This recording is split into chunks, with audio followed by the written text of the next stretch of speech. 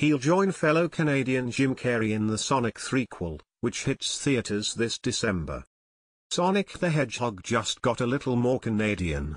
Toronto's Keanu Reeves will voice Shadow the Hedgehog in the upcoming Sonic the Hedgehog 3, according to multiple sites. The news was first reported by credible tipster John Campea and corroborated by the reputable entertainment site The Hollywood Reporter.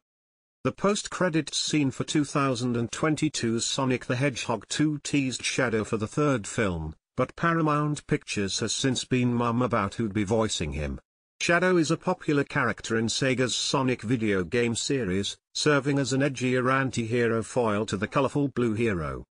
In the films, Reeves' voice will join Parks and Recreation's Ben Schwartz, Sonic, Luther star Idris Elba, Knuckles the Echidna, and Colleen O'Shaughnessy, Tails, reprising her role from the video games, as well as James Marsden, Tom, Tika Sumpter, Maddie, and Lebanese-Canadian Lee Majdoub, Agent Stone. Notably, this will be Reeves' second video game-related project with Elba following last year's Cyberpunk 2077, Phantom Liberty. Reeves also joins fellow Ontarian Jim Carrey, Dr. Robotnik, in the Sonic 3 quel. Footage of Sonic the Hedgehog 3 was screened for media last week at CinemaCon, although no trailer has been released for the public yet. Sonic the Hedgehog 3 will hit theaters on December 20, 2024.